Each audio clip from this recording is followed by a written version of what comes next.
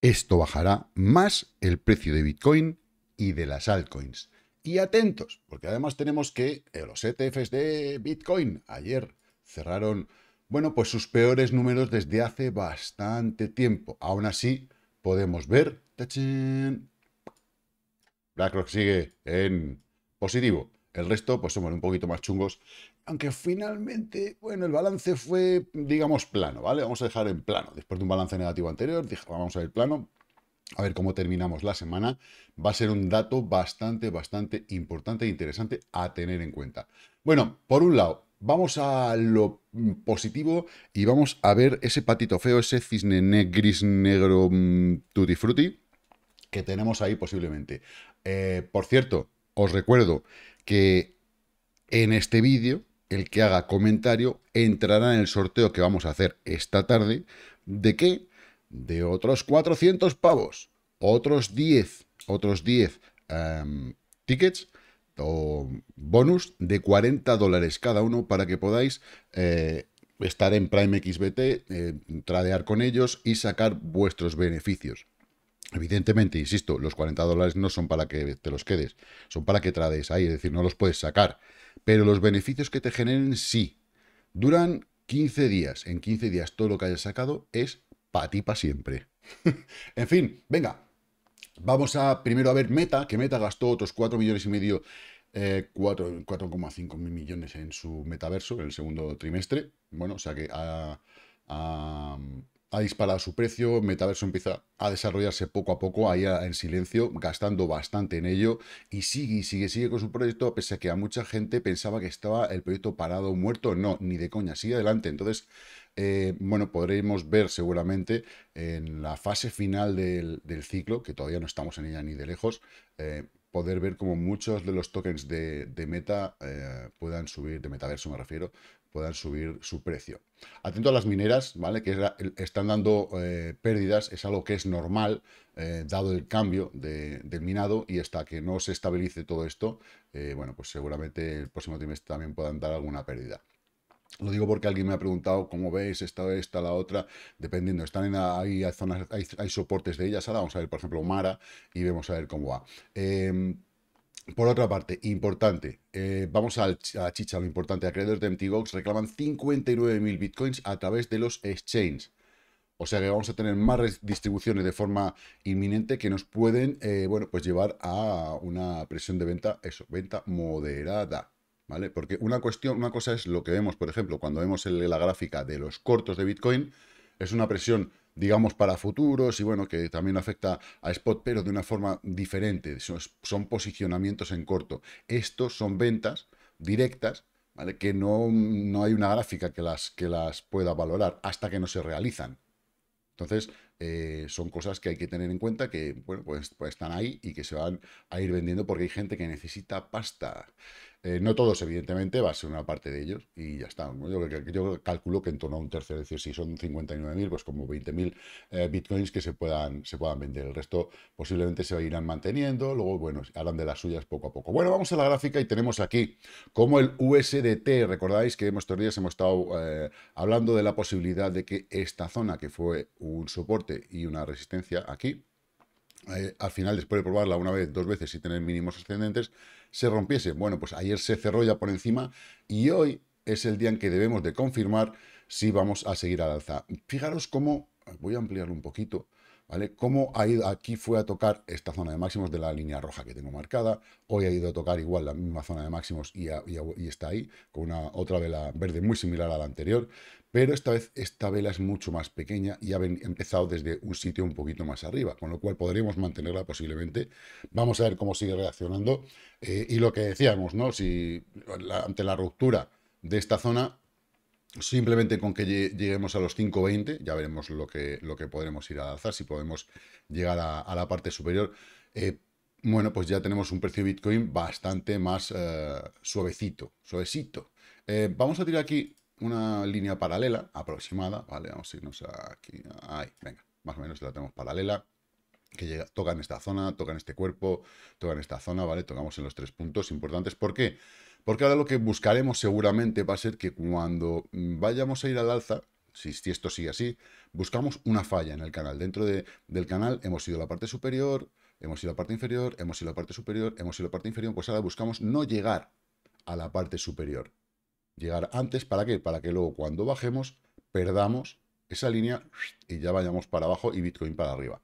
Esto, entonces, al final siempre buscamos eh, en, otros, valores su contraindicador y aquí lo tenemos claro, clarísimo. Bien, eh, en los futuros del CME de Bitcoin de momento han parado en una zona súper importante, fue un soporte, una resistencia, fue un soporte, bueno, pues ahora está haciendo de soporte, lo volvemos a probar nuevamente.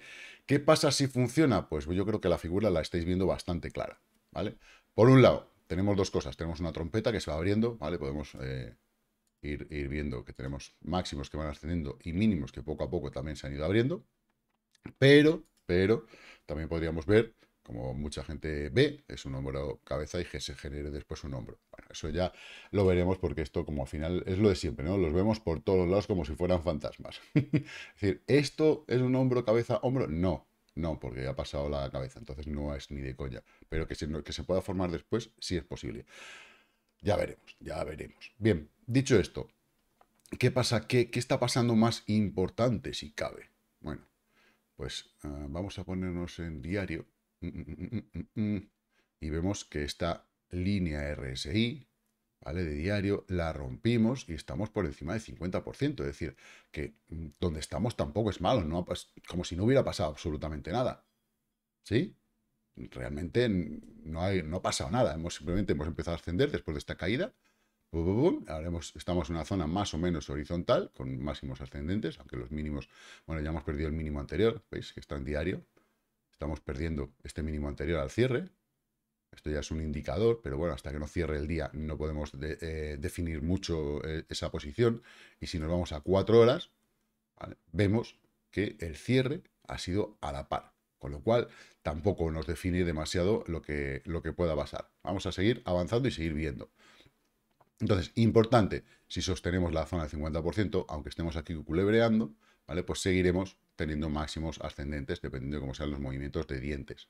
Pero lo lógico es que si tocas varias veces, al final la pierdas y vengas al menos a apoyarte a esta línea de tendencia. Y lo que decíamos es que en breve tenemos ya muy, muy cerca, ayer decíamos, hay que recordar que estábamos en 65 o 66 y decía, ¿qué distancia tenemos a los, a los 60? Pues de 65 a 65 y de 65 a 72, que es el máximo que tenemos que romper, pues hay 7, hay más probabilidad, abajo no. Bueno, pues de momento estamos más cerca todavía y hemos estado más cerca todavía porque hemos estado bajando hasta los 63.950. De momento, parece que rebotamos. Para, solo lo parece. En el mercado de spot la marca es muy similar. Vemos cómo esta zona que fue una resistencia, ¿vale? Aquí fue otra resistencia. Aquí cuando la pasamos testeamos y fue soporte. Esta mecha vino y fue soporte. Bueno, pues hemos vuelto a tocarla. Vamos a marcar, remarcarla porque eh, aquí con nuestra plantilla le decimos que no es una resistencia, le decimos que es un soporte, porque ahora mismo realmente es un soporte. Y eh, lo que buscamos es la pérdida o no de esta zona, en conjunción con la pérdida o no, acción del precio. Te 50% RSI. Si yo pierdo el 50% RSI y pierdo después, pues veréis que el RSI es un indicador adelantado si se utiliza bien, y después resulta que pierdo eh, a la acción, por acción del precio el soporte, pues ya buscaremos zonas inferiores, ¿vale? Que es la parte superior del gap. Es la zona inferior que buscamos. 60.500 aproximadamente. Eh, evidentemente, eh, todo lo que sea hasta 59 más o menos, maravilloso. Y justo aquí tengo la marca de mínimos del gap que está en 58, ¿vale? Aproximadamente, ¿vale? Entonces, bueno, eh, ya veremos a ver, ya veremos a ver cómo sigue reaccionando esto. Y de momento está la cosa bastante, bastante bonita. Si no vamos a una temporalidad más baja, en cuatro horas, por ejemplo, bueno, pues ahí vamos viendo que intenta de alguna forma rebotar. Y en una hora, pues intenta igual hacer un pequeño rebote, pero eh, con bastante resistencia. Vemos cómo ha bajado el volumen. Ahora en esta hora parece que empieza a despertar un poquito, un poquito más por encima del, anterior. ¿Vale? Bueno, pues ahí, ahí estamos. Bien, en cuanto al total market, pues igual, en zona de soporte, no hay mucho que añadir al, respecto. Y Bitcoin que empieza otra vez a renacer su eh, eh, dominancia. ¿vale? Vuelve otra vez al alza, como es lo lógico. Eh, por su parte, el dólar index también renace, parece que en la, zona la quiere utilizar como un rebote. Y Y en las altcoins, bueno, Caspa, fijaros que a pesar de que, me voy abajo, me voy arriba, sigue máximos históricos, tremenda, está muy, muy, muy bien. Vamos a la parte negativa que tenemos aquí, los cortos de Bitcoin, como cortos como tal, ¿lo veis? Lo que decíamos, la presión de cortos, los posicionamientos en cortos caen, caen, es normal, a medida que va cayendo el precio, el posicionamiento en cortos tiene que caer. Si no, solamente un, punto álgido es el que hace, bueno, venga, los cortos mm, tienen eh, beneficios, pero no, empezamos a caer.